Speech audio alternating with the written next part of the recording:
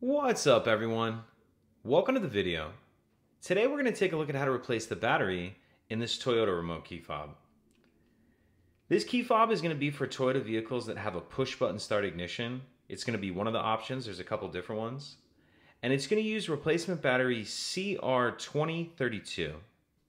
I'll put a link in the description box of this video to where you can purchase these batteries if you're in need. The first thing we want to do is remove the emergency key that's in the bottom of our key fob.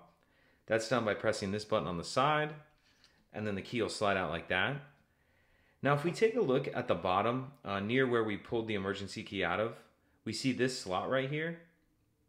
And if you notice, there's a little bit of a lip on the end of this key. What we're gonna do is put the key in that slot, and then we're gonna twist it like this, like we're unlocking a lock. So put it in that slot, make sure you have it all the way in, and then twist, and it's gonna pop the shell apart like that. And now we see our battery right here. For some reason, this one has a green sticker on it. You can use the key, the end of the key to help you get the battery out, get under the edge of the battery, carefully pop it out like that. We'll grab our new battery and we wanna make sure that we're installing that with the plus side up, plus side up, like that. And now make sure your uh, circuit board is sitting in that rubber piece properly in case it got moved around when we opened it. And then go ahead and snap the two halves back together.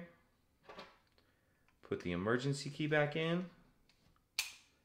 And that's it. If you have any questions, please let me know. If you could take a second to like and subscribe, it helps us out and I'd appreciate it. Thank you.